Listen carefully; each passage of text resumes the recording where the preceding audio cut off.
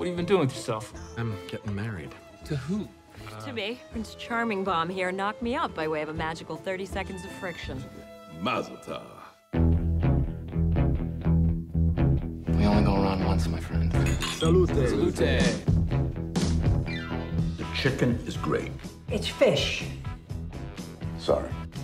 Is your dad really a cop? Is he? What's that? Your wedding present.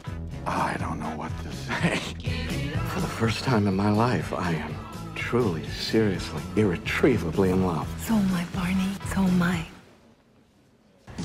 Don't be ridiculous. We just met at your wedding. I don't care if it happened on my wedding night, at a funeral, on my deathbed. It happened.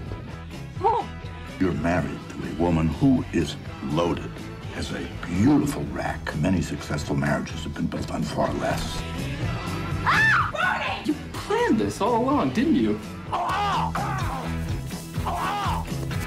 need to get laid. Classy, Panofsky.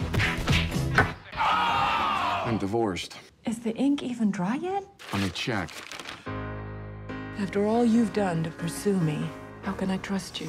I would do anything for you, Mary. Don't answer anything. Life's real. It's made up of little things minutes, hours, naps, errands, routine, and it has to be enough. You did good, boychik.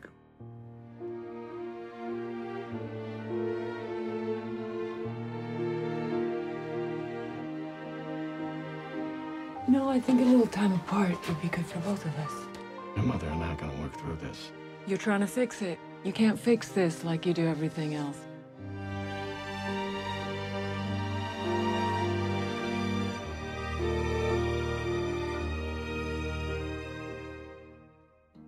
Have I ever given up when it comes to you? Never.